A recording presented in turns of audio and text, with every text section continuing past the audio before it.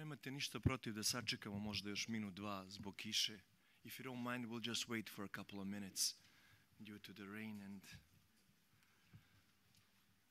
l'embouteillage.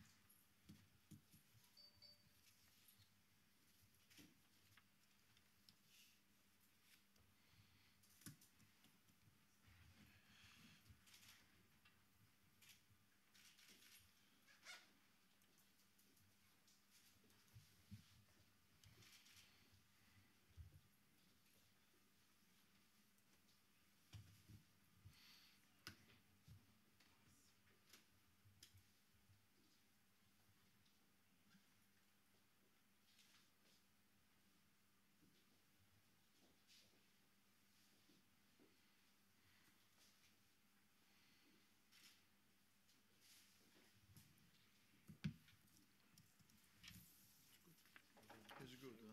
Yeah. yeah, yeah, we can, we can kick off.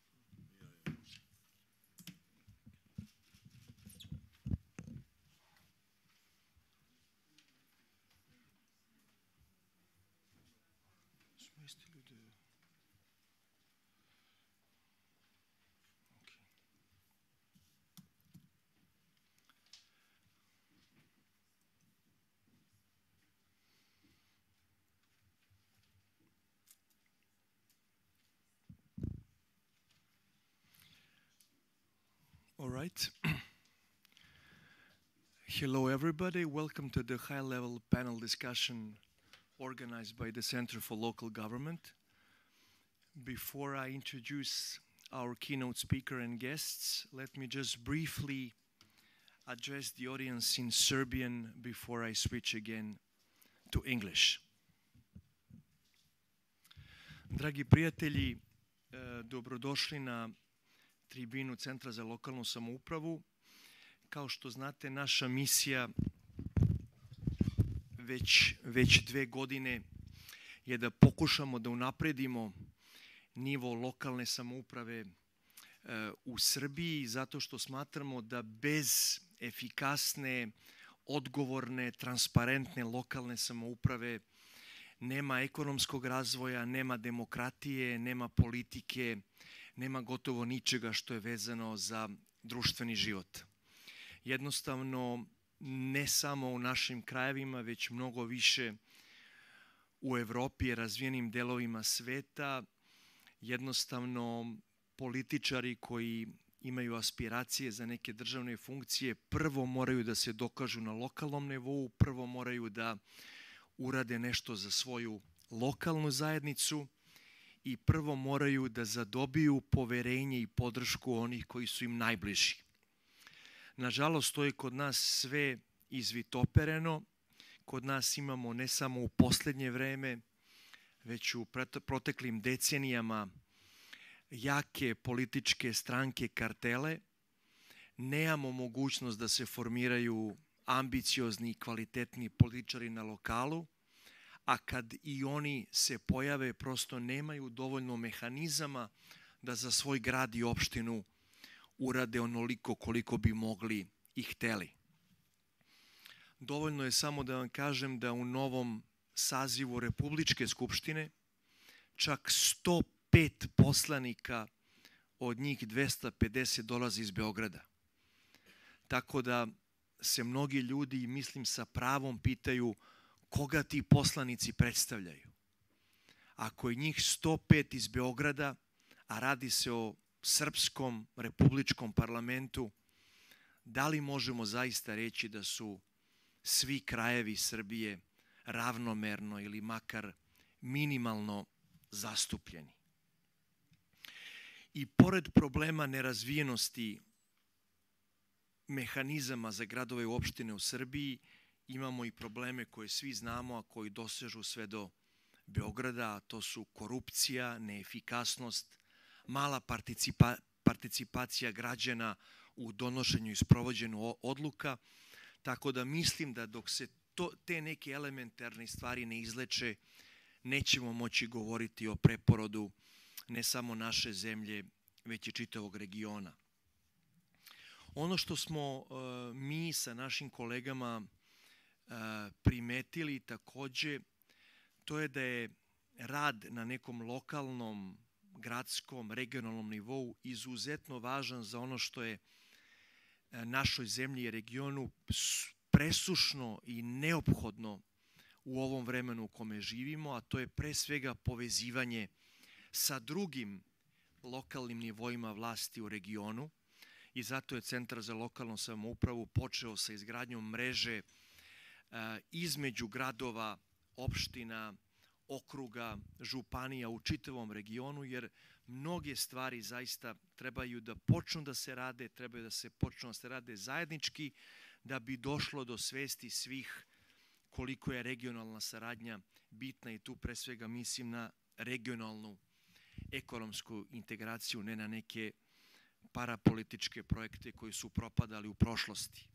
Ali izuzetno bitno da ako neke stvari ne mogu da se odmah reše na višim nivoima, da napravimo neku vrstu saradnje, prijateljstva, razmene informacija, međusobnog gostovanja između gradova u regionu, između Beograda, Ljubljane, Tirane, između pogotovo manjih opština koje nemaju toliko prilike da vide šta se dešava u nekim delovima regiona i Evrope gde se stvari rade na nešto efikasniji i kvalitetniji način. I takođe, za kraj još jedna važna stvar, jednostavno nema ni istinskog približavanja Srbije Evropskoj uniji, što nam je većini nas cilj, makar što se tiče elementarnih standarda i načina funkcionisanja bez unapređenja lokalne samouprave.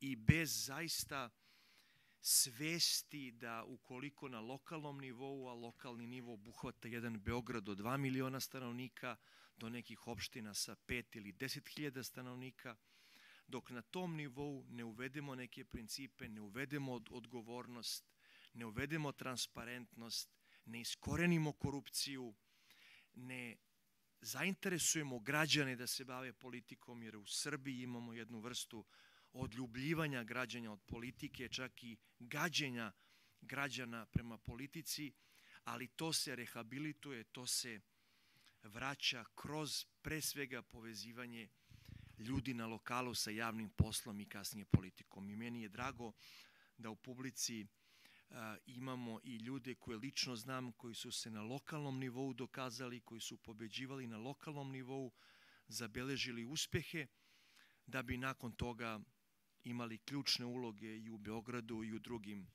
nivouma vlasti u Srbiji. Mislim da je to jedini recept gde se rehabilituje i demokratija i politika i efikasnost i sve ono što vredi e, kod nas, ali i u našem okruženju. Tako da ja ću sada preći na, na engleski.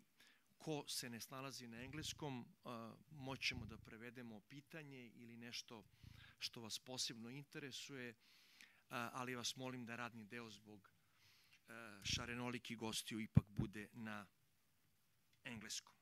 I hvala vam još jednom svima što ste došli, nadam se da će diskusija biti interesantna. Mislim da u posljednjih nekoliko godina nismo imali ovako različite interesantne i e, uticajne goste koji, koje sam zamolio i to će biti slučaj danas, će potpuno otvoreno pričati o svemu. Znači možemo ih, ako nešto i ne kažu, pitati vrlo otvoreno šta se dešava, da li je Srbija dobro došla u Europskoj uniji, šta oni nama zameraju, šta mi njima. Tako da predlažem da iskoristimo ovih sat, sat i po da zaista protresemo neke teme koje su mnogo ambicioznije od neke sterilne ili uobičajene diskusije. So thank you very much for the patience. I will now switch again to, uh, to Serbian.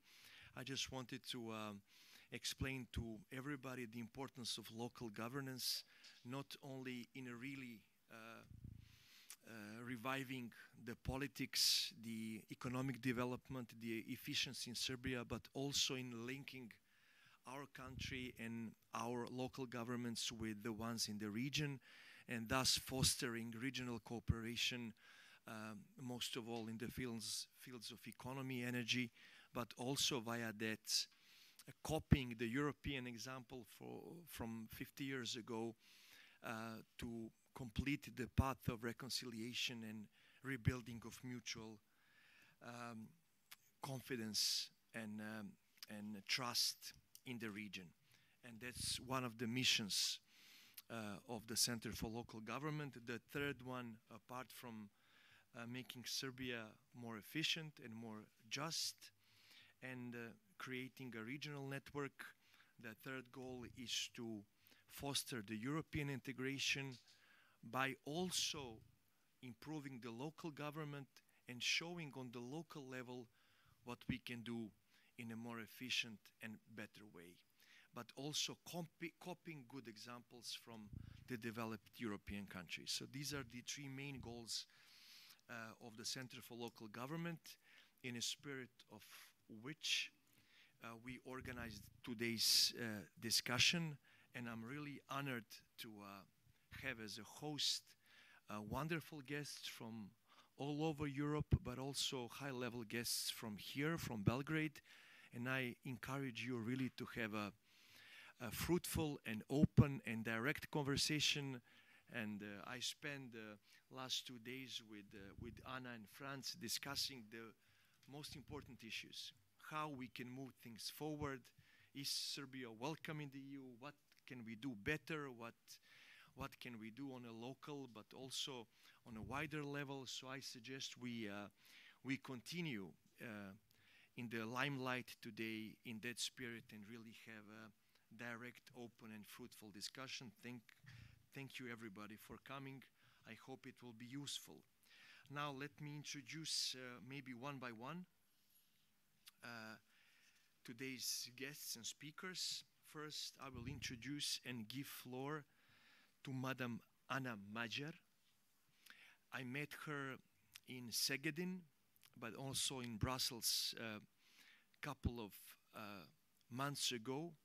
She's extremely experienced politician with a good knowledge of the region and um, one of the prominent members of the European Committee of the Regions, which is, as you know, one of the bodies of the European Union, uh, uh, in which uh, uh, regions, municipalities, and cities of the member states are represented. Uh, Ms. Magyar has been rapporteur of the European Committee of the Regions on enlargement, and a um, couple of months ago, she wrote uh, a very constructive and um, detailed report on Serbia. Uh, and this is the first opportunity and uh, first uh, uh, moment for her to uh, present this report to the Serbian public. The report has gone unnoticed because it came out before, after the report of the European Commission, but it's as important. And Ms. Magyar um, has done a great job, and the report is excellent. And I suggest you all take a look at it. So, Ms. Magyar, thank you very much for uh, coming to Belgrade. Uh, and I'll give you the floor. Please uh, uh, give us a main thesis of the report on Serbia of the European Committee of the Regions and your view of situation in our part of the Europe uh, in the context of everything bad that has been going on, unfortunately, since uh, February, March. Thank, thank you once again. I give you the floor. Mr. Jovanovic, thank you for your kind in introduction.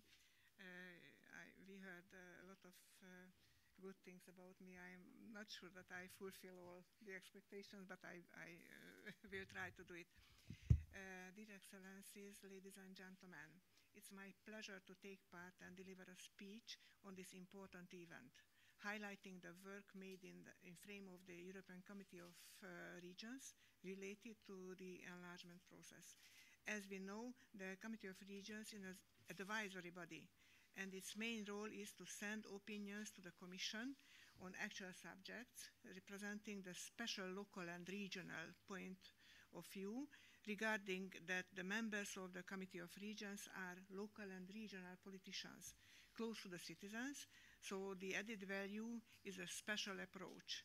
In case of the enlargement, a new enlargement opinion is formulated every year. It is a privilege uh, to be the rapporteur of the latest enlargement package opinion. Uh, uh, being Hungarian, living very close to the Hungarian-Serbian border, only 10 kilometers from the border, it was so important for me to have a say. This is the second time I gained the, the rapporteurship.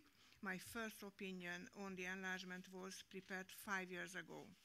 It is interesting to see uh, the positive changes of the five years, and it is sad to see the slow overall progress. Uh, my goal was to be balanced, to show all the progresses and emphasize future tasks, covering not only the countries interested in the enlargement, but also the progress and lack of activity of the EU. By my opinion, the enlargement process is definitely not a teacher and student relation, which would mean that enlargement countries are not pupils receiving strict orders and must uh, needs obey. Instead, the progress must be based on cooperation, discussions, better understanding of the special circumstances, and finally, the result would be to meet the clear requirements of the final success and nothing else. I mean that I disagree to include new requirements during the process. To be frank, during the final discussion of the opinion at the plenary, my opening speech covered not only the progress and lack of progress of the enlargement countries, but also the duties and lack of past activity of the EU too. At the European Parliament, there are separate dossiers for all the enlargement countries. This is not the case at the Committee of Regions. Only one integrated opinion is prepared with all the interested countries. This is why most of the statements are generally valid for all the countries, and there are only short parts referring separately to countries. In case of Serbia, the final version shows eight separate uh, points out of the altogether 88. Nevertheless, these points are so important and must be regarded together with the other general remarks and this is a, a, a set of uh, remarks. Uh, is it, it is worth to mention too that the closing part consists of important reflections about the role of the local and regional level in the enlargement process regarding that around 70% of the rules are implemented there. So this level is more important than we normally think. I uh, take now the opportunity to ask the government level to take seriously the cooperation with the self-government level. It is easier to think and discuss in advance than to search later for compromises. Some words about the process. At the beginning, a lot of consultations helped the rapporteur's work, and I'm happy to say that despite the pandemic, I could meet, at least virtually, a lot of stakeholders on self-government level, diplomatic level, European Parliament members, and last but not least, Commissioner Oliver Várhelyi, who definitely is the key person in accelerating the process and who I'm sure is strongly committed to a successful uh, progress. The text uh, belongs, the, the opinion, the final text belongs fully only the, to the rapporteur only till the first debate which happened on the CIVEX Commission level, where the rapporteur receives a lot of amendments from the other members, targeting include new points, to delete or to modify existing points. The majority decides. The second round is at the plenary, where there are also new amendments, and uh, we decide with majority. In light of this process, I'm proud to say that the final compromise is close to my original will uh, we could keep the balance of the text, refusing unnecessary blames, refusing additional requirements, which are not parts of the clear origi original frame, and also we could keep almost all the positive statements about the successful progress. An example for that is that the positive mention of the constitutional reform finally remained in after debate, with clear exp explanation of the, its importance. My work started in November 2021. Final version was adopted in June uh, 2022. In the meantime, Ukraine, Georgia, and Moldova announced uh, their intention to join the EU. I have to emphasize, emphasize, that my rapporteurship covers the year 2021, so there was no way to include details about their uh, intention. Nevertheless, in the amend amendment phase, we included some refer references. As we all see, the geopolitical situation is changing. What is not changing is our geographical situation. The Western Balkans, Balkans is an island within uh, the EU, if you, you regard on the map. This is an island in, in, in the frame of the EU, uh, bordered by EU, EU uh, countries. This is a reality that we should take into account. In my view, it is therefore an essential interest of the EU to integrate the Western Balkans as an island as soon as possible into its internal structures. In fact, the Western Balkans must have become a part of the EU a long time ago. For Serbia, it is so important to do it as soon as possible. We are lagging behind, and history teaches us that we must pay the price of missed opportunities. In my work as rapporteur, I tried to refocus the attention on this basic truth and give impetus to the enlargement process. In my remarks and speeches, I wanted to bring the message through that we must do everything also in the EU, that the present challenges do not drive us apart. In this present situation, the best answer that the EU can give is a strengthened enlargement process. For this, we need political commitment and trust. We must build uh, bridges. Therefore, in my initial draft, I highlighted the elements that can serve as the foundation of further developments in the EU-Serbia relations. The EU has a set of rules that guarantees the functioning of the institutional and political setup that has been created over the past decades. It is evident that there is a strong expectation on the EU side that all countries that wish to join the EU must respect the rules. But it's also true that lately the EU, EU overwhelmingly focused on the lack of progress in some fields while disregarded major achievements. This is why I focus on, on balancing. Uh, this is uh, by placing a strong emphasis on the achievements too. In the case of Serbia, I regard it as a great success that we managed to maintain the positive wording on opening cluster 4 after a big debate. And as mentioned before on the constitutional reform.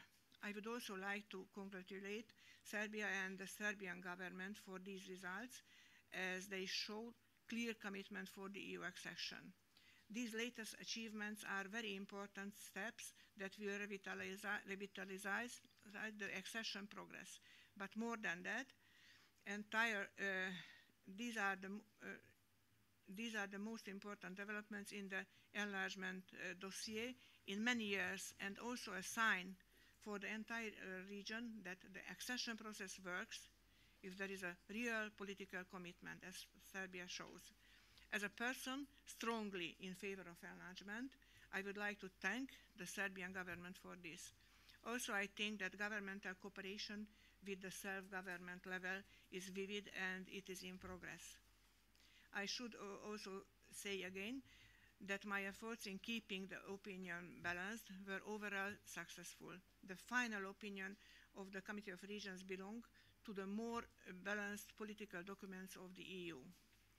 The final text is a compromise, compromise of many actors my initial idea to adopt a document with positive wording that strengthens trust and can be a good starting point for further reforms was not entirely supported by all delegates or colleagues. This resulted in mixed language, although still within the lines that other EU documents also reflect. There was a wording on the monitoring of the progress in Serbia, and also some expectations were made on the full alignment in the field of common security and defense policy. In the latter case, though, the expectations uh, do not involve reference to the time frame. Therefore, they are consistent with the negotiation, negotiation framework of Serbia. Uh, this is a good compromise, I think. At this point, I do not give you other details. Maybe later there will be questions and remarks, and I will have the privilege to answer. All in all, I hope I could contribute to a better understanding of the enlargement countries, including our neighbors, neighbor Serbia, which I am happy to fully support in its ambition to become EU member. The final opinion is sent uh, to the Commission, and it is available for the public. I think Mr. Nikola Jovanovic uh, can also offer uh, for you a copy. Thanks again to be part of this important event as, as speaker. Uh, thank you, Ms. Magyar. Without further ado, um, I will give floor to Mr. Franz Schausberger, one of the most prominent Austrian and European politician. He is uh, still a member of the European Committee of the region, representing its land Salzburg, of which he was a governor. Uh, apart from the, this uh, distinguished post in his native Austria. Uh, he held many different and important positions in the European Union. For example, what is also important for us, he was a key advisor to the European Commissioner uh, Johannes Hahn when he was in charge for um, enlargement and um, neighborhood policy. Um, before I give him the floor, I will just uh, stress one thing. Apart from all that, Mr. Schausberger is a founder and head of one of the most prominent European institutes um, based in Salzburg. It's called Europe uh, Institute for European Regions, and we had a pleasure to sign partnership agreement as a center for local government um, with uh, his institute a few minutes before this event, which will allow our joint cooperation mostly in the Western Balkans, but also one of the many things we will be able to send some of the youngsters here in Serbia to do internship and to gain experience is his prominent institution. So, Mr. Schausberger, I give you the floor, and once again, thanks for coming, and thanks for being such a friend of Serbia and of the region. Dobar dan, poštovane dame i gospodo. This is the only thing I can say in Serbia. Uh, so, thank you very much, uh, Nikola. Uh, thank you for the invitation to this event. And uh, with pleasure, I accepted this uh, in- invitation because I always enjoy to, to come to Serbia. And uh, I can tell you, last week I have been in uh, Novi Sad, uh, in Vojvodina, and uh, there were also a lot of interesting and uh, meetings of friendship. Um, at the beginning, let me make a few general remarks. Um, and I will start uh, and, and mention that um, it is not the competence and it is also not the will of the European Union to dictate the member states or the candidate states um, how to regulate their internal political and administrative uh, structure. This is up to the countries, of course.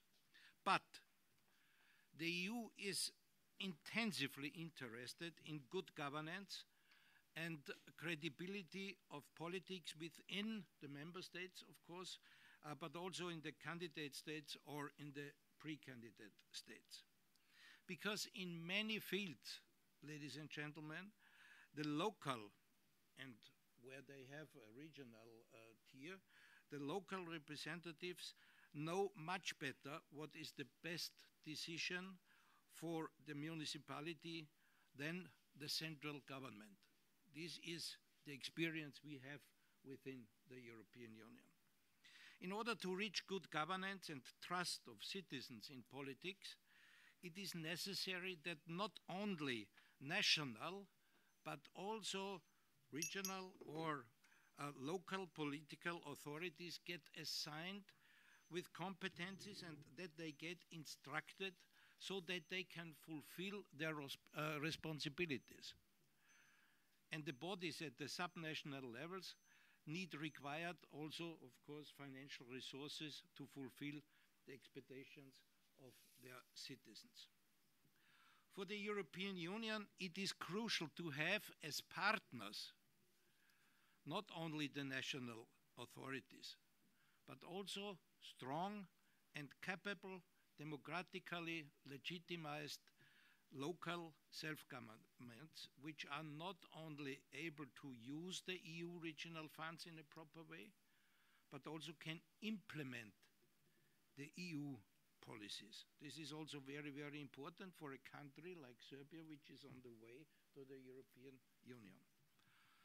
And you have to know almost 70% of all EU legislation, when your country is member, uh, has to be implemented at the local or at the regional level. This is very important, and you should always remember it so you can understand why the local level is so important.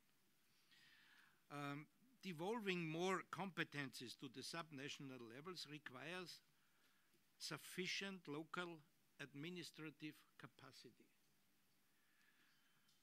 know-how and expertise to manage the tasks and the competences.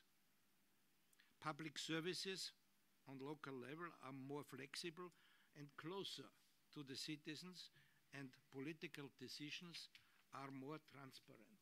This is also very important. But of course, the administration has to be able to implement the competences. In this sense, decentralization is an important contribution to a political stabilization of a country. And I can tell you, it is not primarily for the European Union or for a benefit for the European Union if you de decentralize your structure. It is mainly for your own country itself and for its stability. So if you are doing such reforms, you are not doing it for the European Union. You are doing it for yourself. You should mention this always. Now, let me say a few words about Serbia itself. As you know better than I, Serbia is a unitary and a highly centralized country with one tier structure of government. This tier, the, the local tier, is composed by about, I would say, 160 or 7, you know better, municipalities, more than 20 cities, and the city of Belgrade, and many of them uh, are divided into several subordinate administrative units. But now there is an interesting thing. The average number of inhabitants in a Serbian municipality is around 50,000 average. It is the highest number all over Europe in Serbia. Most of the comparable countries in, in Europe consist of much more municipalities than Serbia. Advocates for a reform in this way in Serbia, the local self-government system, point out that Serbian municipalities are the largest in Europe, both in territory and in the number of residents. And as such, they are inefficient in handling citizens' needs and distributing the income from the national budget into most relevant projects. I mean, you know better than I, around 10% of the municipalities can considered as big ones with more than 100,000 inhabitants there are only 6% with less than 10,000 inhabitants. And the current organization of municipalities in Serbia, by their size and number, is not adequate for general development of the country. country. Thus, it is necessary to uh, reduce their area and the number of inhabitants. That means the number of municipalities should be significantly increased. I can tell you as an example, and my friend Stava from the Austrian embassy will, will uh, agree with me, we have similar uh, number of inhabitants, around 7 million, 8 million. But you have around 170 uh, municipalities. We have more than 2,000, more than 2,000, and they are very strong. They have highly, they have high competences, and they can uh, implement all these competences because they are very well informed and, and, and so on and so on. So, I mean, it's not necessary to have uh, 2,000, but I can tell you 160 or 70 are really, uh, that's, that's not good for, for the whole country. Um, let me, let me uh, read some, something. Public administration reform is paramount to strengthening governance at all levels. This includes improving the quality and accountability of administration, increasing professionalism, depoliticization, transparency, more transparent management of public finances, better services for citizens, an appropriate balance between central, regional, and local government also needs to be found. This is not what the European Union uh, wants. This is what you can read, this declaration, at the homepage of the Serbian Ministry of Public Administration and Local Self-Government. I can't agree totally uh, with this, you know, declaration. I mean, now it's a question of implementation, what you have on the homepage of your ministry. Um, on July the 9th, 2021, the government of Serbia adopted, adopted the first time the program for the reform of the local self-government system for the period from 2021 to 2025. And as I said, now it's time to implement it. This is very big because the legal basis or the, the, the plans, this is very important to have it. But if it is not implemented, you will, it, it will never uh, be realized. Let me say a few words about the, the Serbia uh, report 2021 of the European Commission, and I hope that uh, um, I will not uh, say too much what, uh, what, uh, what Mr. Um, Bertolini from the EU embassy wants to say, but only a few words to this question because the European Council granted Serbia the status of candidate country in 2012, you know. Uh, since the opening of Serbia's accession negotiations in January 2014, 18 out of 35 chapters have been opened and two of these chapters have been provisionally closed. And if you read this report, you can see that Serbia is only moderately prepared in the area of public administration reform. Limited progress was made in the last years, could have been more. As regards local self-government, the law on Vojvodina's financing resources has still not been adopted, despite being provided for under the constitution. Local administrative capacity is still weak, and significant disparities between municipalities persist.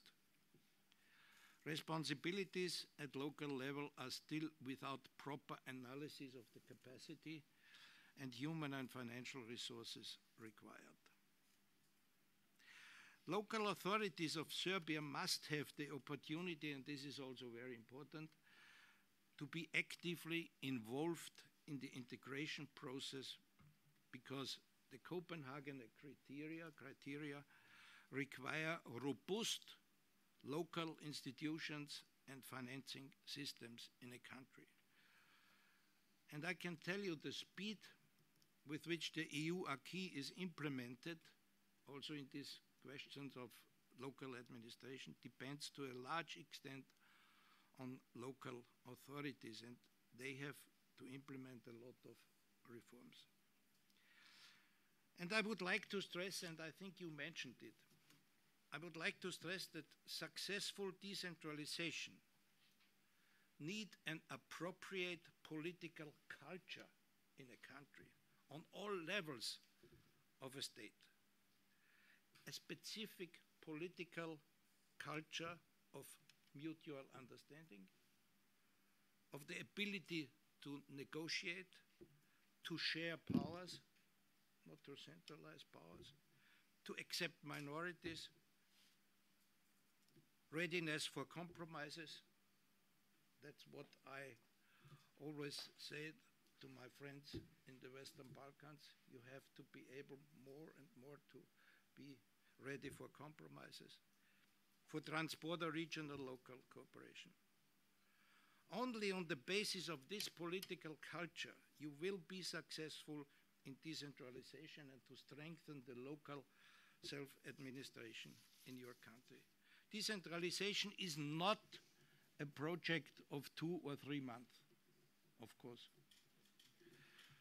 It means the separation of powers, and it is not easy to, to give powers from, for example, the, the central government to the, to, to, to the local government, but it should be in accordance with democratic standards. It will be necessary to organize a strong public campaign to inform about the benefits of well understood and also the dangers of misunderstood decentralization.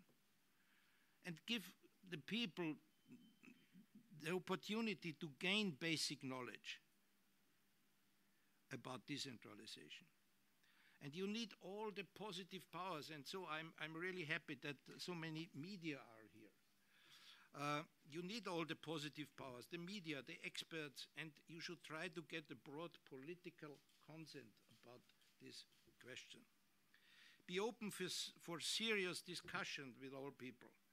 And I think that, that your institution is very important for these discussions, serious discussions, with all people who are in fear of separatism. Because sometimes, especially here in, in, in, Serbia, if you are speaking about decentralization, about regionalization, and so on, people have the fear of, of separatism. I think you have to inform them that well done decentralization is as it could be served in many other uh, observed in many other countries, a strong contribution to stability, peace, and unity in the country and to the satisfaction of the citizen. So you should intensify the contacts also with European institutions to uh, exchange uh, know-how and so on and so on. I think this is also very important. And, and you should give uh, the, the local representatives. The opportunity to exchange experiences with local politicians in other countries that have already gone uh, through the accession process. I think this is also very, very important. So, I would like to close my intervention by reminding that Serbia has to find its own way of decentralization and division of powers and for the reform for local self-government. I think there are a lot of examples in Europe which are working very well. And you should know it, you should visit your colleagues uh, in other countries.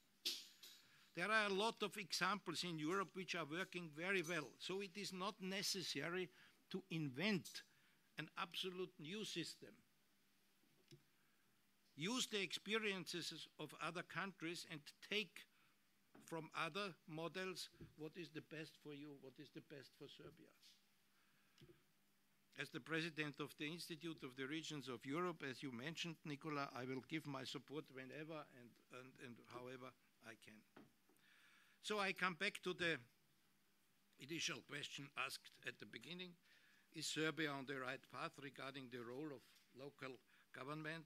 I would say yes, because we are thinking positive yes, Serbia is generally on the right track in this area, but as I mentioned before, there is still a lot to be done in terms of concrete implementation on the important basics. I'm convinced that Serbia is crucial for the establishment of peace and prosperity in this part of the European continent. Serbia, as a European country with a long and distinguished history, a valuable religious and cultural life with a great richness in historical and cultural heritage will make a very distinct and positive con uh, contribution to the life of the European Union. The EU regional policy, and there is a lot of money given to all these candidates uh, countries and so on, the EU regional policy and the pre-accession funds combined with the real will, political will of Serbia can essentially contribute to an earlier accession of Serbia to the European Union. That was what I wanted to tell you. Thank you for your attention.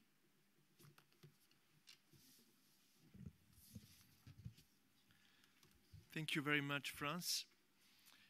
And uh, now I will give the floor to the head of the OSCE mission in Belgrade, to the ambassador Jan Braathu. Um, I've had a couple of precious opportunities to discuss with him about the situation in Serbia, about the situation in the region. He's one of the best connoisseurs of the region from the current diplomatic corps. And um, I will just say that as a much younger guy, I worked in the foreign ministry and in the United Nations, uh, but the ambassador Braathu is one of the most serious and competent diplomats I have ever met. I consider him uh, um, as a friend, as a friend of Serbia, and I'm very honored that uh, he's here with us today. Ambassador Braathu, I give you the floor.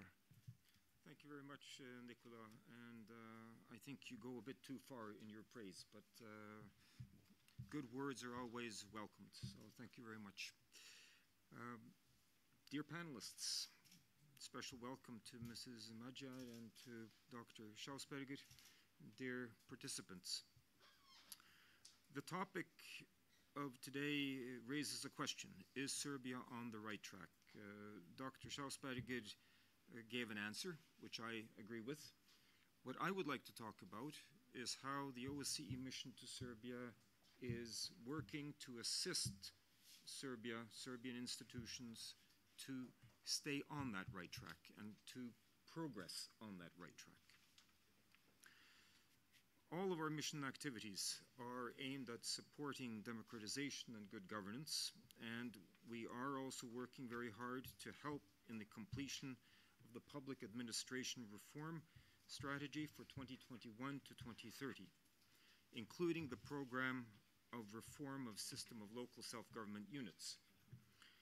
The mission is notably providing support in the areas of professional capacity building of civil servants, implementation of good governance principles, and improvements in the system of local self-governance, of which, according to our figures, there are 167 local self-governance, not including the local self-governance units uh, in Kosovo.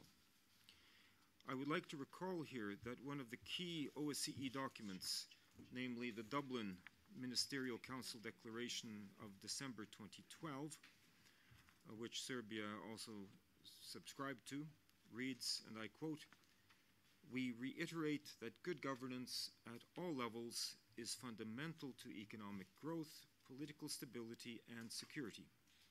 Good public and corporate governance, rule of law, and strong institutions are essential foundations for a sound economy which can enable our states to reduce poverty and inequality, to increase social integration, and opportunities for all, and to attract investment and to protect the environment. Against this background, transparency, accountability, inclusiveness, and public participation are key principles that we at the OSCE strive for and support at all levels of governance in accordance with our mandate. And our mandate instructs us to work in partnership with host authorities and civil society to achieve these objectives. Transparent and accessible public services that respond to the needs of the citizens, together with citizens' participation in the development of public policies, are the cornerstones of good governance. And accessibility and efficacy of public services is particularly visible at the local level, as has been mentioned by the previous speakers. Ultimately, whether you have access to communal services, safe drinking water, efficient waste management, these and other issues are what decide elections at the local level. And we at the OSCE give our best to provide meaningful support to our partners in the host country on these topics, topics to aimed at strengthening good governance and overall democratization. Let me mention capacity building of public administration, including at the local self-government level, is one of the focus areas of our work, and it's again based on Serbia's domestic reform agenda. As one pillar of the public administration reform strategy, the mission supports the National Academy for Public Administration, or NAPA. And we do this in provision and development and provision of several online courses for professional training for civil servants. And I won't go into mentioning these, but capacity development at all levels, not only the central level, but very much in, in the, at the local level as well. A second pillar of our work concerns the long-standing cooperation with the Standing Conference of Towns and Municipalities of Serbia. The Standing Conference is the single association of local self-government units, gathering all 167 local self-governments in Serbia proper. And it is an indispensable partner both to the government and the international community when it comes to local self-governance issues, whether it is on policy development, implementation, or representing and advocating for the interests of local self-governance. Since 2018, the focus of the mission's cooperation with the Standing Conference has been and continues to be the new code of ethics for local officials. Principles embedded in this code of ethics legality, responsibility, transparency, professionalism, impartiality, and non discrimination are the aspects or the facets that make good governance possible. We want this code of conduct to be applied throughout the territory of the Republic of Serbia. We support the Standing Conference in the promotion of this code of ethics, also in national minority languages. We do it through capacity building of local officials and oversight bodies. And we, will, we have continued to support the Standing Conference in the development of promotional and capacity building tools.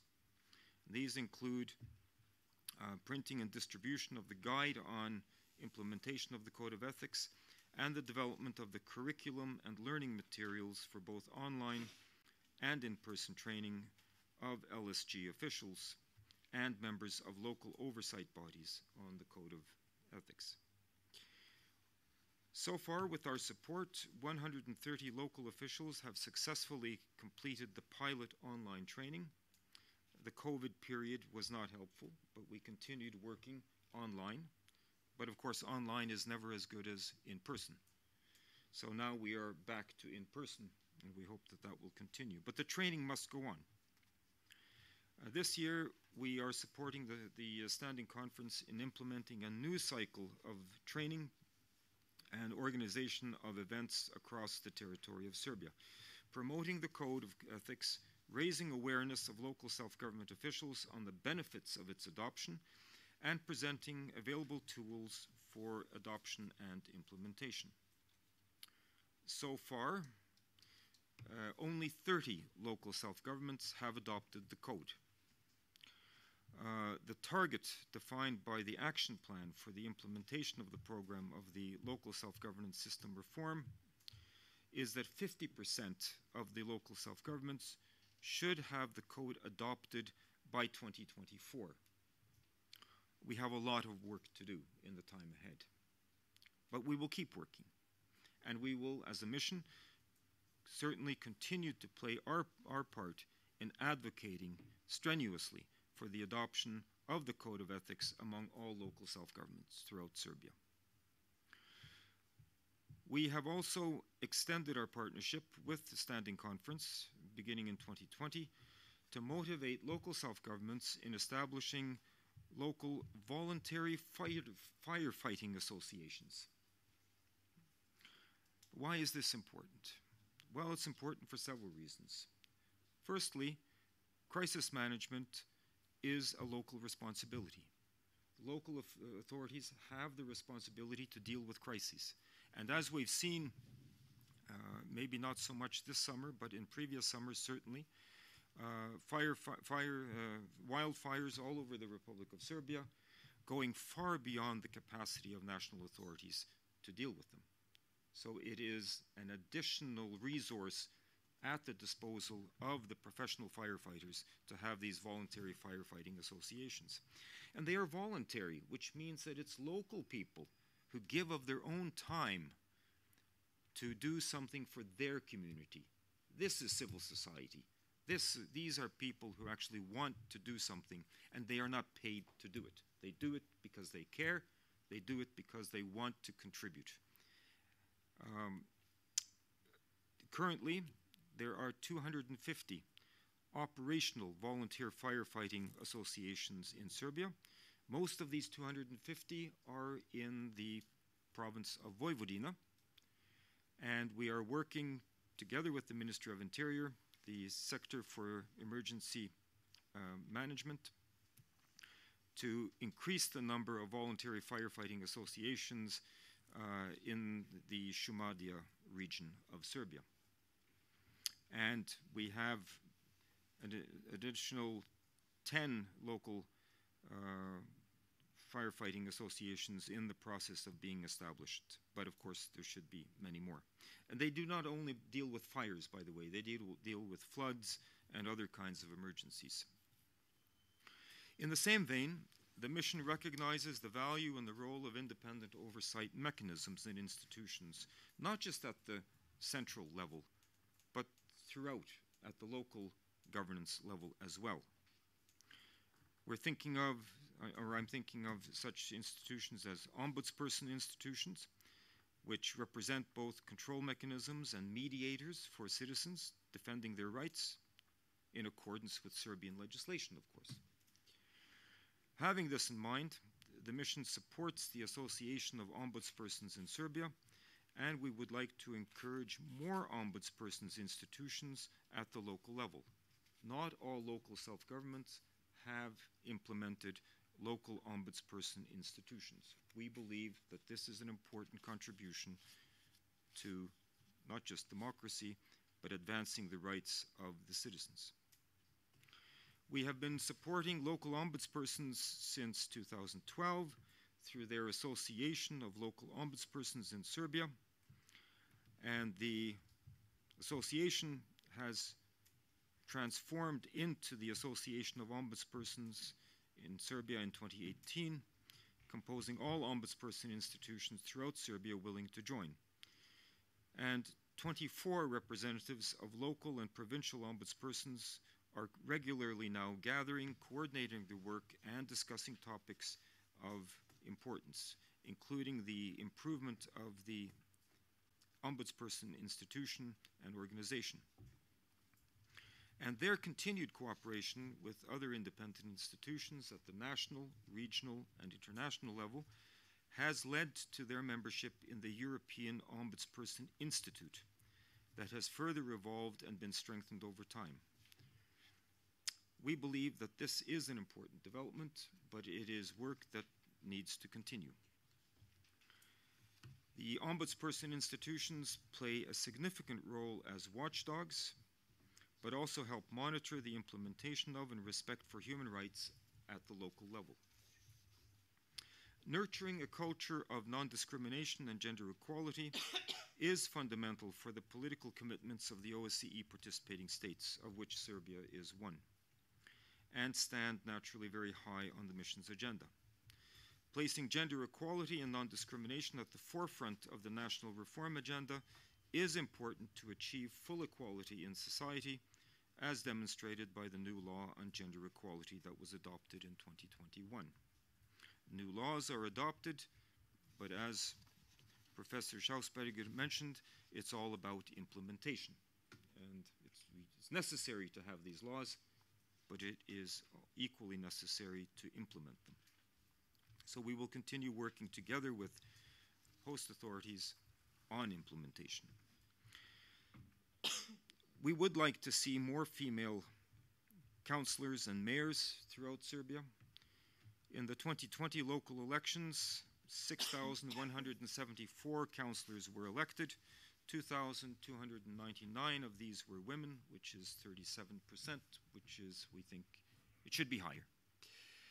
Of 165 mayors and presidents of municipalities, only 20 are women, so 12%. Work to be done, folks. We need to encourage women to engage, not only in politics at the central level, but at every level.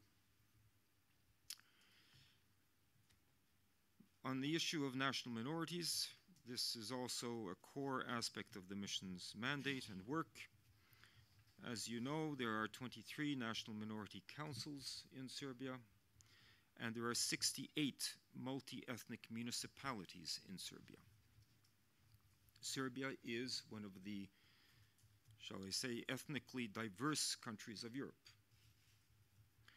And the importance of providing training to public administration staff at the local level on issues related to the rights of persons belonging to national minorities has been recognized in the latest draft action plan for the realization of rights of national minorities that currently is work in progress. Uh, through joint activity between the mission and NAPA on modules dealing with official use of languages and scripts, the mission has contributed to an Im- improved understanding of the legal framework of Serbia among employees of the public sector. Again, the legal framework is good. The understanding of the legal framework, the information about the legal framework and its implementation uh, needs to be improved. Work in progress. The upcoming population census, to be conducted in October 2022, is a very important tool for the state to tailor public policies and services to the structure of the population, not the least, I would say, especially at the local level. And if citizens assist authorities in gaining an accurate picture, and they can assist by participating in the census, Uh, the provision of schools, hospitals, firefighting services, general infrastructure can be better planned and better adapted to the needs of the community and the municipality. We are therefore supporting the institutions, namely the Republican Statistics Office, in its efforts to raise awareness of the upcoming census, and we've actually been working for more than a year speaking with national minorities and encouraging their participation in the census. As you will recall, in 2011, uh, one of the significant national minorities of Serbia, namely the Albanian national minority, boycotted the census. And there has also been talk among some of, of the other national minorities to boycott. That seems to be passed, and we expect full participation by the national minorities in the upcoming census. It is extremely important for planning, budget allocation, provision of services at the local level. I mentioned that uh, Serbia can boast a rich cultural diversity, 23 recognized national minority communities, and this, with this in mind, it is also of great importance to provide support to the various bodies at the local level to contribute to safer local communities. And I'm thinking here of the local councils for inter-ethnic relations, which are va- very valuable mechanisms, underutilized mechanisms, that not only should react to deal with uh, cases of inter-ethnic tensions, Uh, but also to deal with better understanding of the needs of minority communities in relation to the majority community, and vice versa. It's not only a one way street, it works both ways. These councils are obligatory in 68 multi ethnic municipalities, and if well utilized, they could play, I believe, an, an active and important role in, for example, reviewing draft regulations and contributing to local policies aimed at fostering inclusion and policies that reflect the structure of the local self government in question. Um, I, I, refer to, again, to what Dr. Schausberg had mentioned about the importance of inclusion. In, inclusion, uh, actually, he was talking about decentralization but it's about decentralizing for inclusion and explaining to all parts of Serbian society the importance of working together and finding consensual solutions to very often mutual problems. So, we as a mission will continue our efforts together with stakeholders on these issues. I believe that in the past there has been a tendency to underestimate the importance of local government, local self government.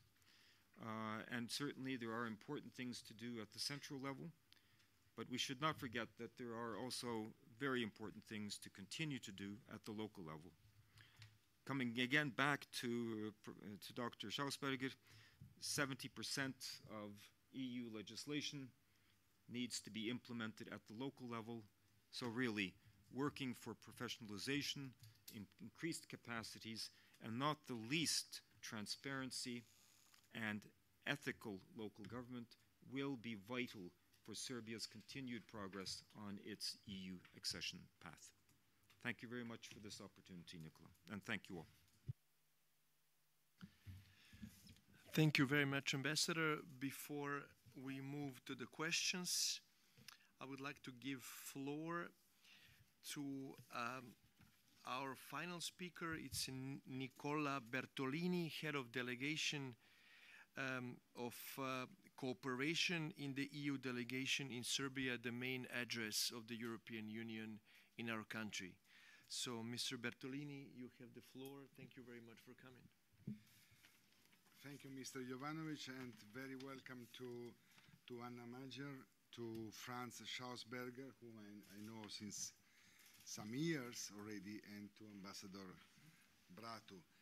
I, I fully, I mean, I, I will be very brief, actually, because you gave me five minutes, and indeed, uh, uh, after these uh, uh incredible speakers, my arguments will be close to five minutes. Now, um, I've been living and working in the Western Balkans for the last 15 years. And I am responsible for having moved the, the instrument, European funds, towards more projects for, for the local authorities. I'm, I'm very responsible, I, I have to admit. And I continue to do here.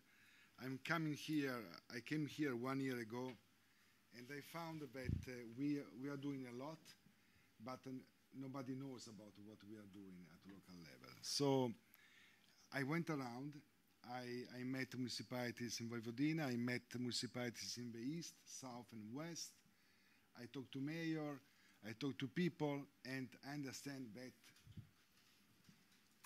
I leave it to Mr. Schausberger the uh, progress report of the European Union. I would like to be more sincere and concrete.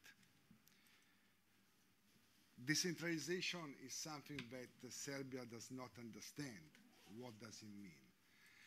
Uh, I, I, hope Mr. Mr. Schausberg will uh, redo the, the, calculation when the, the, census will be done. Mm.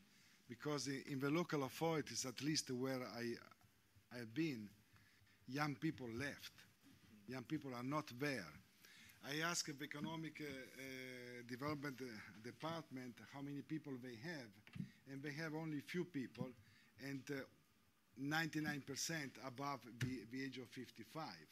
So, what are we talking about here? We have to be stronger in understanding four main uh, things. The first one is the role of local authorities. 70% of, of key to be implemented, but also there is a law in Serbia saying that local authorities should monitor the accession process. In one year, I've not been faced to this possibility. So welcome local authority to be more proactive and to be given a possibility to, to be proactive. Second big uh, issue I mentioned, migration and young people leaving. So the brains are going away. The old people like me cannot have a, a very, a very bright uh, uh, ideas. So we should invest in people, in young people. And this is what we are going to do more and more from, from now on. I ask about the budgets of municipality. Uh, they, they don't have a, a, a, a very small budget. The- These are big municipalities, 50,000, 30,000 people, 150, 170. I, I discussed with uh, 10% of, of Serbian municipalities. And, um, but I do understand 80% of their investment budget is going to asphalt roads.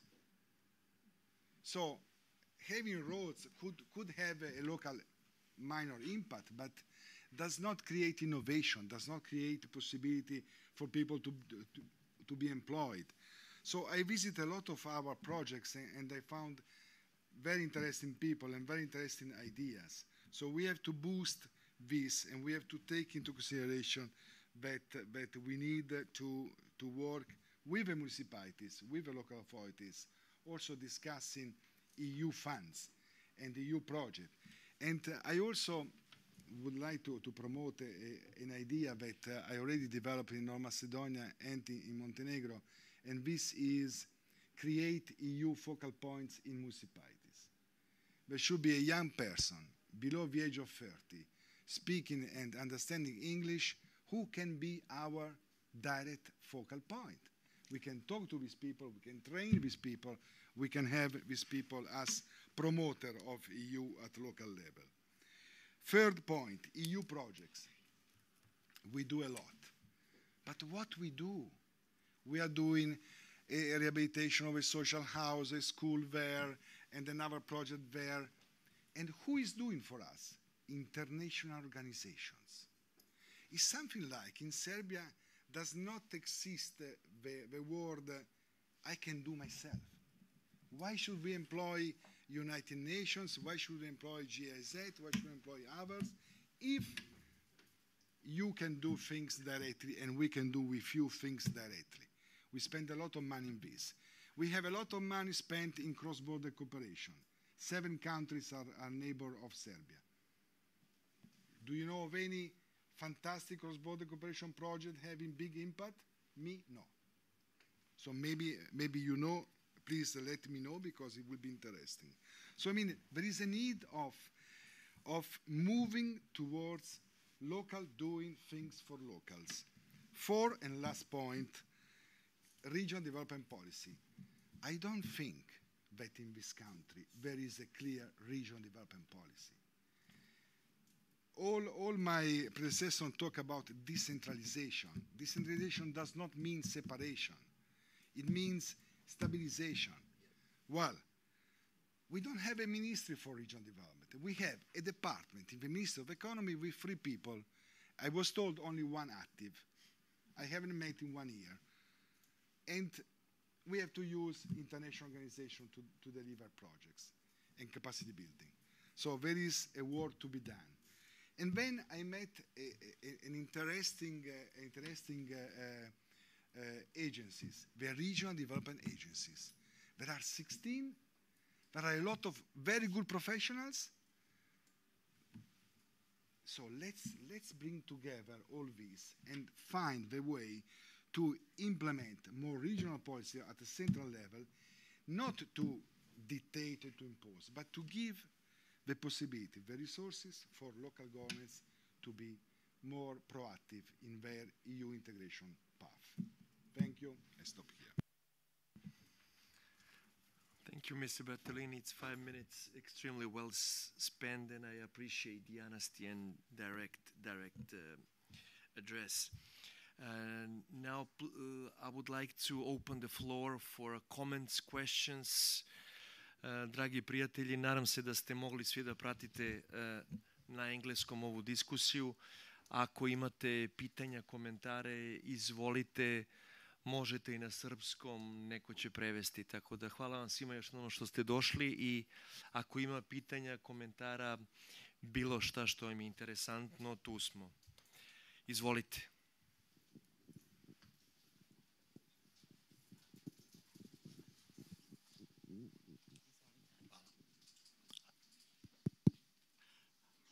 Ja bih vas zamolio da prevedete. Dobar dan, ja sam Aca Vukalović iz časopisa E-sigurnost. Dva pitanja kratka. Nadam se da nisu laka. Pošto se na papiru u Srbiji sve menja svakodnevno ako treba u kompletu. U praksi ništa se ne menja 78 godina. Mene interesuje konkretno za regionalizam i decentralizaciju šta Evropska unija planira da uradi u Srbiji da bi građani Srbije saznali za ove teme, kakve su to vrednosti koje su primenjene u Evropi i tako dalje.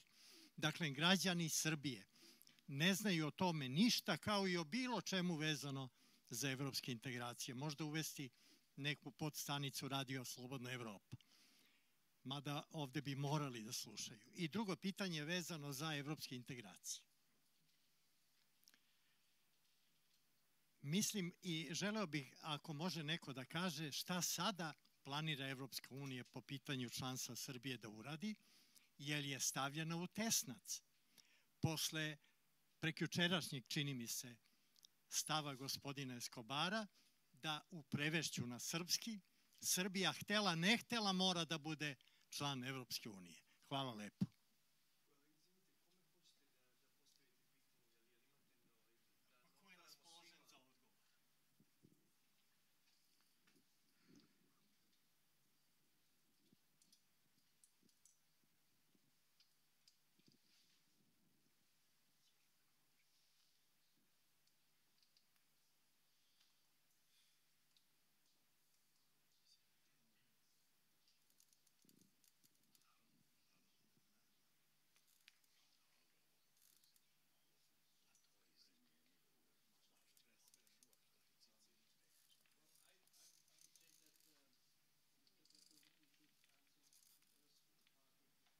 Question because there was the question about what is European Union, so the, com uh, the Commission is, is doing for uh, information um, to the people in Serbia uh, regarding decentralization. And the second question is uh, what's about membership of, of uh, uh, Serbia um, to the European Union. I think you should start if, if I can add something, so I would, I would do it. No, you should. Yeah. Well, what do we do for decentralization? No, I mean. Uh, information about. Ah, information about the decentralization. Decentralization, as Mr. Schlossberg correctly said, is not something that we can teach, but it's something that we ask the country to work on it because also the cohesion funds. The cohesion funds is one of the big funds that the European Union is using in the Union. Will come very strongly once Serbia will be a member of European Union. And if there is no responsibility for local governments, there is no policy for regional development, these funds will remain in Belgrade and will be used for big infrastructure, corridors, highway, No, no, I'm saying, yes. Comparative uh, experiences, practices. Exactly. We have. Process. Yes, yes. We have indeed projects that are providing this type of information. But what I propose is that we will work directly with the municipalities in order to channel the right information. I think that we don't do enough. So we hope that the new government of Serbia will be very receptive in working together more at local level. Yes. Only a few remarks. Um, the first thing is we should not always ask what, what can the European Union and the European Commission do. Um, I think um, they do a lot, but they cannot do everything. And they, they cannot inform all the municipalities and the cities and whatever. Uh, I can tell you there are also a lot of, um, um how should I say, institutions, um, uh, institutes, uh, and so on and so on. Uh, Nikola uh, is, is one of these, with his Center for Local Government. Um, then there are um, institutes like my institute, we are in contact and we, we make, we make uh, conferences. Uh, we invite the mayors. Of course, the mayors should come uh, and they should inform themselves. Um, um, Mr. Bertolini mentioned one idea, and this idea, for example, is implemented in Austria. Um, we have uh, nearly in, in, in each uh, municipality, we have one councillor um, who is uh, responsible for European questions. Uh, and he gets the information about the politics of the European Union, uh, what is going on, and so on and so on, especially for the, for the local level. Um, I think this, this would be a very good idea, that each of your city and municipality has one lady or guy who is responsible and who gets all the information and then he, he, he is informed. This is a, a, big progress if you have in each uh, municipality one person um, who feels responsible for European matters. I mean, my assistant, he's sitting there, was for many years member of the of the council of the of a city in in, uh, in Austria, and he was responsible for the, for these questions. And I think it works very well. Uh, there, the, the, information are coming from the Ministry for European Affairs in Austria, also from, from the Foreign Ministry, and from the European Commission. Uh, I think this is a good idea, and we should start. Uh, I mean, Nikola, we should together think about this and give an initiative. Yes. Um, what I also wanted to say, I mean, here you can see also the, the difference. Um, Mr. Braathu uh, uh, spoke about the, the volunteer fighter, uh, firefighters. I mean, you, you mentioned 160, I think, in, in, uh, in Serbia, and most of them in, uh, in Vojvodina. I can tell you, I mean, I, I, I, I told you that Austria has uh, around 2,000 municipalities, but we have 4,500 volunteer uh, uh, firefighter brigades, you know? Volunteer. They don't get any cent. Uh, and if there is a fire, they are ready and, and, and, they are coming. So you can see if there is, there is there are strong municipalities, people are working voluntarily, uh, and uh, and and they they uh, working together and, and they support everything and, and so on and so on. This is one question I, I don't think that I always only uh, speak about Austria, but I, I know the situation in Austria. Uh, but it, it's similar in, in, in Germany and, and, and so on. Uh, so, but I, I want to focus on this idea one councillor in each municipality should be uh, responsible for, for European affairs. This would be first big progress.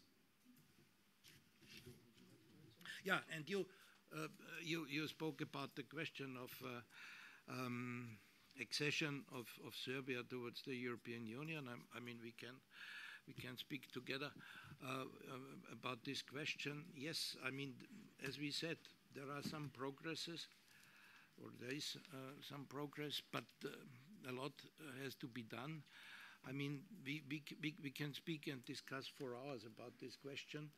Um, I think it is necessary to have a strong will in the government of, of a country which wants to access towards the European Union.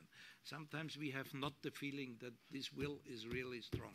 I, I mean, I, am frankly, because it, it, gives no sense not to, to say, uh, there, is, there is done a lot, of course. Um, and, and, and, and there is another thing, this is, uh, is my impression, sometimes um, the, the, political um, or the, the politicians um, don't think um, on improving the image of the country in the Western European countries. You know, this for me, this starts um, with with radical speech. Uh, it could be sometimes helpful uh, in, a, in an election campaign, of course, yes but they don't think what it what is the result in the in the Western Balkans, how it will uh, accept, you know, and uh, and so in the in the Western countries, um, there is the impression, okay, these always are radical. I know that it, this is not the, the yeah, uh, but but sometimes you should also think if you if you say something, how it will accept will be accepted in in in, in out, out out of of Serbia. Um, um, yes, I mean this is only one uh, one point I wanted to mention. There are a lot of of, of, of other points we can we can discuss. Dobro, možemo onda dalje sa, sa pitanjima. Filipe, Uh, Thank you very much. Uh, my name is Filip Kalmarovic from um, news site uh, Nation. Um, my question isn't directed to anyone, but uh, anyone who wants can answer it. Uh, you spoke a lot about uh, policies that should be implemented on local level, Mm, and some people need to implement those policies.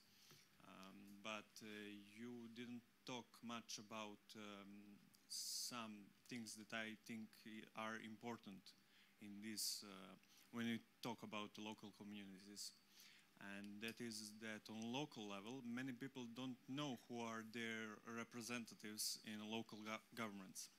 And uh, in some places, they don't know even who are their presidents in those local governments. And um, one uh, one issue is uh, the type of electoral system we have uh, here in Serbia. Uh, what do you think uh, would be the right uh, way to elect people in local governments so that people get more informed about who are their representatives? Thank you. I don't know. Can answer? Maybe Ambassador Braathu, this is uh, more a democracy, democracy angle. No, I think it's a very important question. Uh, and uh, as I mentioned several times in my presentation, transparency in governance is of the utmost importance. So, how to achieve that? Uh, it's not impossible, even in Serbia, to achieve that. It's a question of will. But it's also a question of what the citizens actually ask for. Um, let me give you a small example.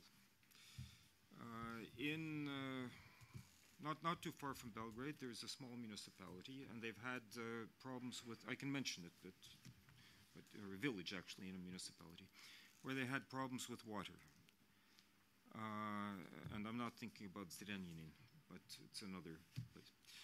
Uh, and local people called together a town hall meeting. And they, the mayor came and he said something, and people didn't like what he said about the water supply. And they, uh, they said that they were going to start a court case. Actually, they said that they would hire the mayor's father to be their lawyer. uh, and lo and behold, a few weeks later, work started on drilling additional wells for water supply. This wasn't what the mayor said he was going to do at the meeting. So, it's not just about transparency, it's also about people getting together and people being able to cooperate with each other in order to advocate for things. And it's not so different in Norway, by the way. I'm a Norwegian. It's not so different in Norway. If you let the politicians off the hook, they will not take your concerns seriously. So people have to learn to cooperate more. They have to learn to work together. Not everyone being the chief and uh, not wanting to work with anybody else. Um, it was mentioned in, by one of the other speakers, I forget now which, who, talking about the need for consensus building, the need to, to, to, to, to make, uh, maybe it was Mrs. Magyar who was mentioning it. Uh, It's very important. But local engagement, it's not, it doesn't help to say, it's hopeless, nothing works, let's leave. That's not going to change anything. Uh, so, I mean, I've, since I came here about a year and a half ago, I've been advocating for people to get engaged. And when people do get engaged, according to the laws and regulations of the Republic of Serbia, you can start to see th- some things changing.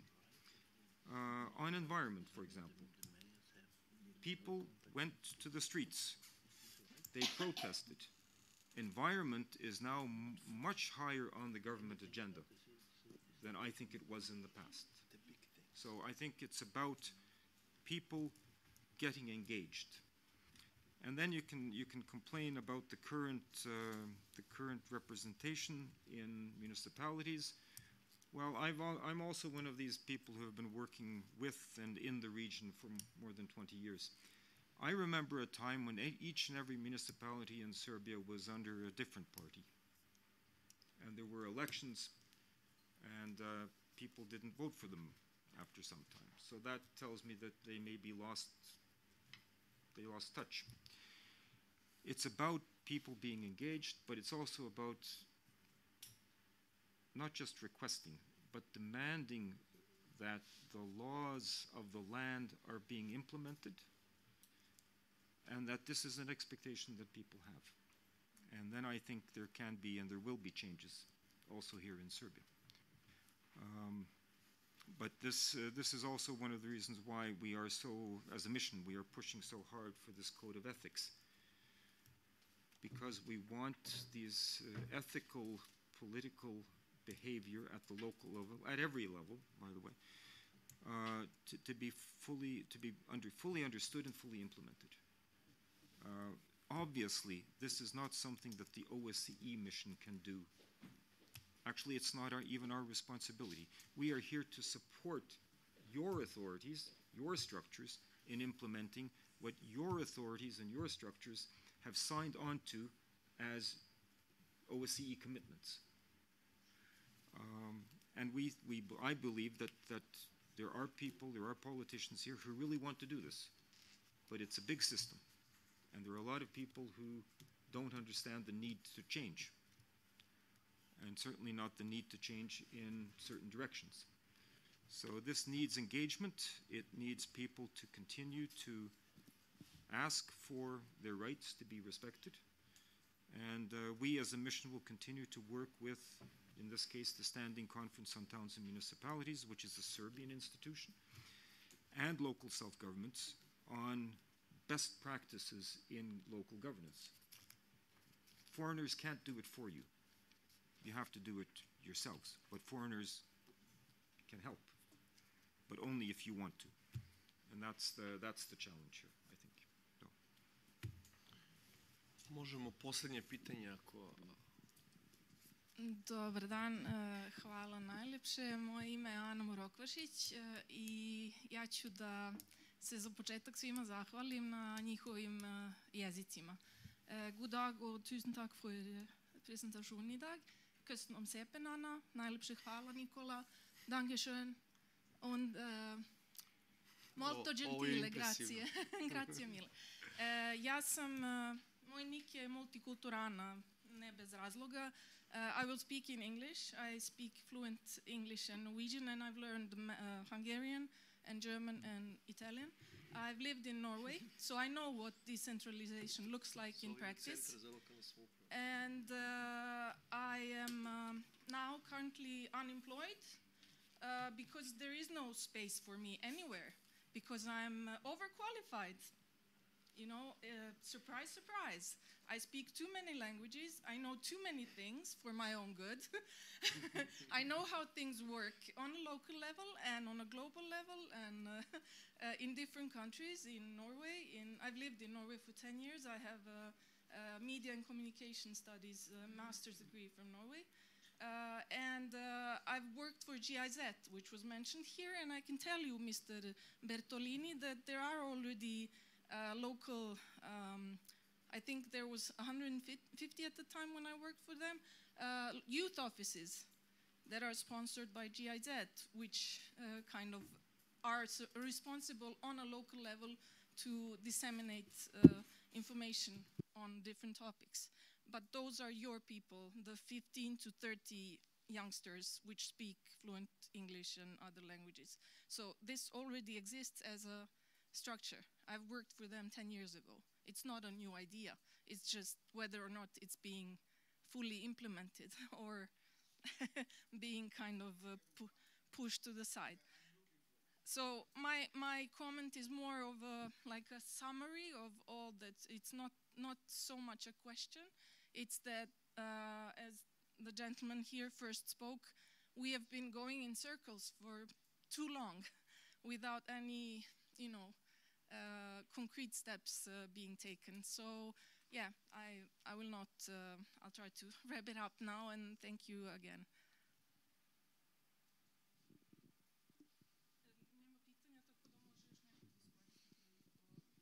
Pita, odgovore samo dođete u centar za lokalnu samoupravu. Žarko, ajde, ajde ti još za kraj. I da se rastemo.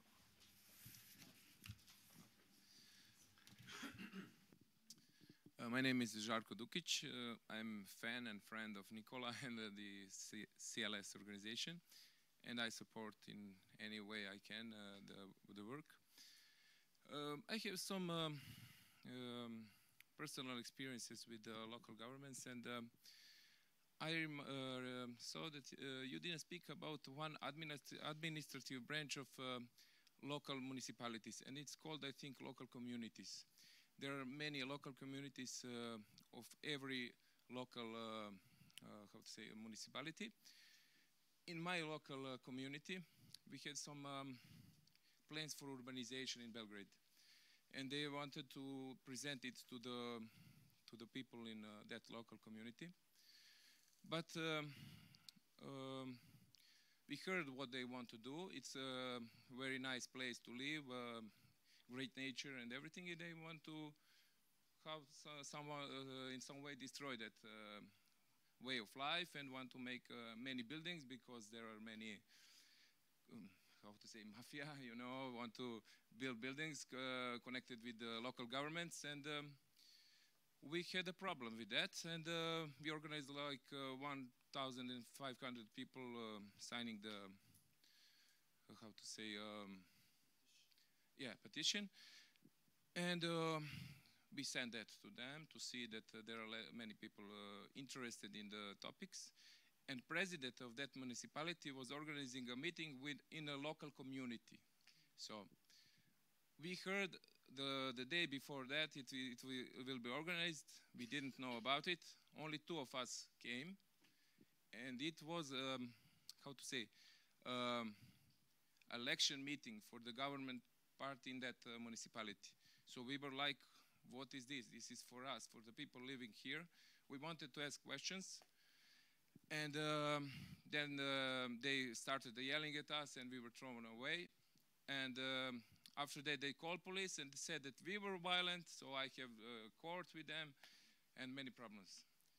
And uh, we went to the um belgrade uh, um, how to say uh, hall and uh, we had uh, their meeting with the uh, belgrade government uh, with um, talking about the urbanization we said what we think but we don't know what will happen so we have uh, my opinion is that the local communities are a great way to be uh, connection with the local government and uh, with uh, maybe European Union and others. But uh, we are totally disconnected with the local communities at the same time from the local municipalities. So we, we, we do what you said. We are doing what we can, but um, uh, it's really hard. Some uh, uh, non-government organizations helped us as well with their experience, but you know, it's uh, uh, not a lot of time, especially when there are elections. They are very, uh, how to say, um, um, aggressive toward the people. They think they say we will win the elections. I say I'm not here at any party. I'm here because uh, it's I live here. I want my uh, uh, my uh, place where I live and my friends live. I want it to to be, you know, the way it is and a little bit better. We want to make uh, the the suggestions, not what you bring to us uh, where we where we can live. We don't want many more cars in our part of the life, so they want to, to bring uh, 600 uh, new apartments. It means many more cars with no more parking and stuff. So and uh, destroying the nature and everything. So it's the the real situation. So I think you should think about that local communities maybe as a solution somehow. Thank you.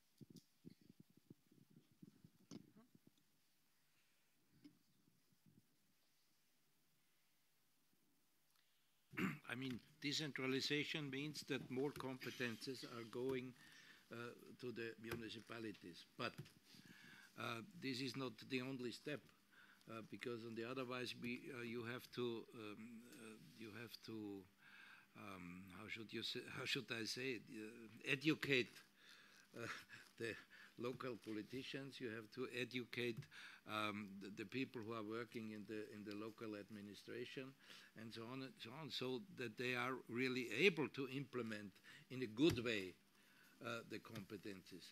Then, of course, they have to feel them uh, responsible for everything what they do, and and of course you have um, to have instruments for more transparency towards uh, the, the, the people living there, and so on and so on. So uh, it, it's a package. You know what I mean? It's not enough to say, okay, we make a we make a law, uh, more uh, competences given to the local level. that's not enough. As as we said, all uh, the, the, main question is, okay, the, the the law is the basis. Of course, without the law, you cannot do anything. But if you have the law, then the most important thing is, and also the difficult thing is, to implement in in, a, in the right way uh, this law. Yeah, and and there you, you need help. Uh, of course, you need help not only from the European Union, not only from uh, from Mr. Braathu, but also from some organizations, from from some. Uh, um, uh, institutes and so on and so on. And it is very important to to, and, and that we can do to bring, uh, for example, local politicians from other countries where it, where it is running uh, positively, uh, together with your, uh, with your politicians on the local level. So, but the question is, I'm not sure if they are really interested in such a know-how exchange. Uh, just to conclude, um, we are aware about the problems with the corruption and mafia. I think you were talking about developers who sometimes are doing things that uh, normal citizens do, do not support. Uh, so definitely as a Center for Local Government, we will try to help not only to you, but to everybody who is in need. And one of the reasons that we try to make partnership with our friends and partners in Europe is that we can have support not only in eradicating corruption but also in doing many many things that are needed here. So i understood you and uh, we from here we know what you're talking about. So um, um, guys thank you very much. Special thanks to our keynote speaker to our guests at the panel to all those who came um, this rainy day. Uh, we will organize further activities, uh, discussions, but only, uh, but also con concrete actions, and hopefully we will deliver even more in the future. Hvala vam svima što ste došli po, po kišnom danu. Nadam se da vam je bilo a, makar delimično korisno i nastavite da pratite CLS. Mi smo tu zbog vas, a ne obrnuto. Hvala, živeo Beograd, živela Srbija.